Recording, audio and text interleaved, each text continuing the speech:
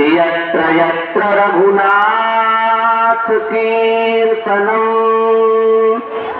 तत्र तत्र कृतमस्तकाञ्जलिम्।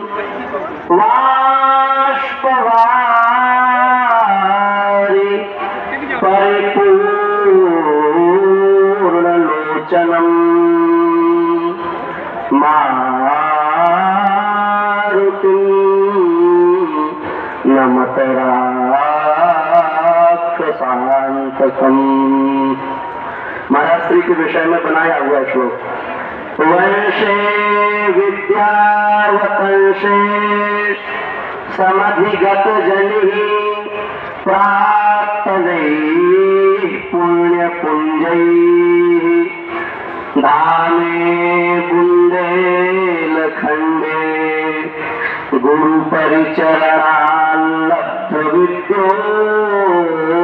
मनस्वी। भाष्याब्धे भक्तिका स्वप्रतिहतमगमा संयमात् शुद्धचित्तः। शिधीरेन्द्रः शास्त्रिवर्यः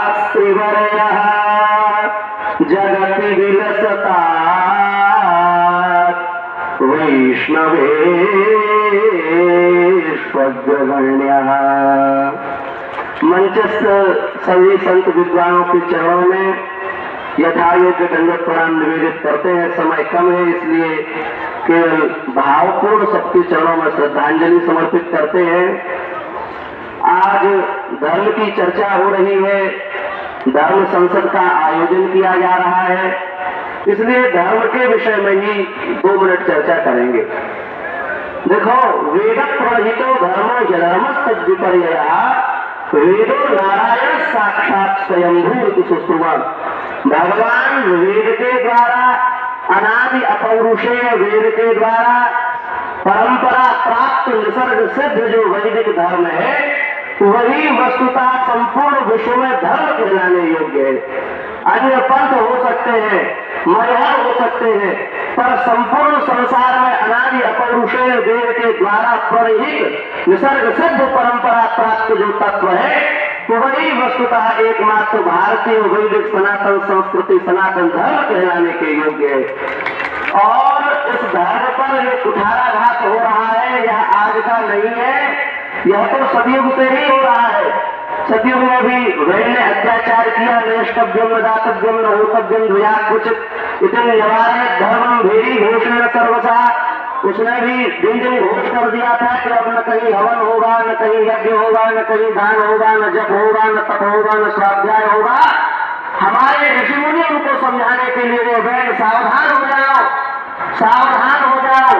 पर बार बार सावधान करने के बाद भी जब वैन सावधान नहीं हुआ तो केवल हुंकारे भस्म। हुंकार मात्र से वैन को भस्म कर दिया। ये सतयुग की बात है। उसी प्रकार से हम त्रेता युग में आए।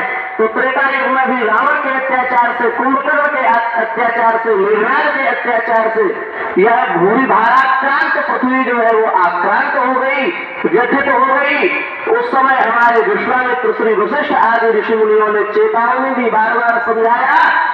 पर जब बार बार समझाने के बाद भी रावण कुंभकर्ण को चेत नहीं हुआ तो उन्हीं ऋषि महर्षियों ने भगवान श्री राम को यज्ञ के द्वारा प्रकट किया और न केवल प्रकट किया, अपितु संपूर्ण विश्व में सनातन वैदिक धर्म की पुनः स्थापना कराई। ये इतिहास है जब जब धर्म पर आक्रमण हुआ। तब तक हमारे ऋषि मुनियों ने जैसे हुआ, वैसे उनका प्रत्युत्तर किया। द्वापर में भी कंस आए शिशुपाल आए। इन्होंने आकर के अपने दाल गलाने का विचार बनाया। पर उस समय शांडिल्य महर्षि ने, गर्ग महर्षि ने आकर के भगवान श्री कृष्ण को प्रकट किया और भगवान श्री कृष्ण को प्रकट करके संपूर्ण विश्व वैदिक सनातन धर्म की स्थापना कराई। कलिकाल में भी अनेकों महापुरुष हुए जिन्होंने समय समय पर आकर के वैदिक सनातन धर्म की संस्कृति को पुनः स्थापित किया और यह कहते हुए हमें अत्यंत प्रसन्नता हो रही है कि वर्तमान समय में भी ईसाइयों के कुचक्र में फंस करके हमारा हिंदू समाज जो है, वह विधर्म की ओर बढ़ रहा था। उस ऐसे विकराल परिस्थिति में परम पूज्य श्री सन्यासी बाबा ने कृपा करके पूज्य श्री शास्त्री जी को प्रकट किया और शास्त्री जी को प्रकट करके संपूर्ण भारतवर्ष में नहीं, अभी तो संपूर्ण विश्व में मैंने सनातन धर्म की संस्कृति का प्रचार किया।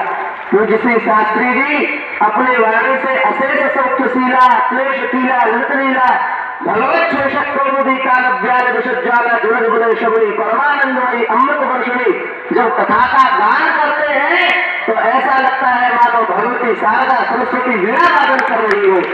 है? हम क्या कहें, सब बड़े बड़े महापुरुष विराजमान है। कुछ गलत कहा हो तो सबसे क्षमा प्रार्थी होते हुए अपने वाणी को श्री बागेश्वर धाम सरकार के चरणों में समर्पित करते हैं। श्री वृंदावन बिहारी लाल की जय। हम महंत श्री रामदास जी महाराज के चरणों में प्रार्थना करते महाराज जी, विराज हैं अभी। महाराज जी का हम बाद में आशीर्वचन लेंगे। ये आयोजन भी लेट हो रहा है, इसलिए हम पूज्य गुरुदेव भगवान श्री बागेश्वर धाम सरकार के चरणों में प्रार्थना करते हैं कि अयोध्या से सब संत समाज पढ़ा रहे हैं, सबका भी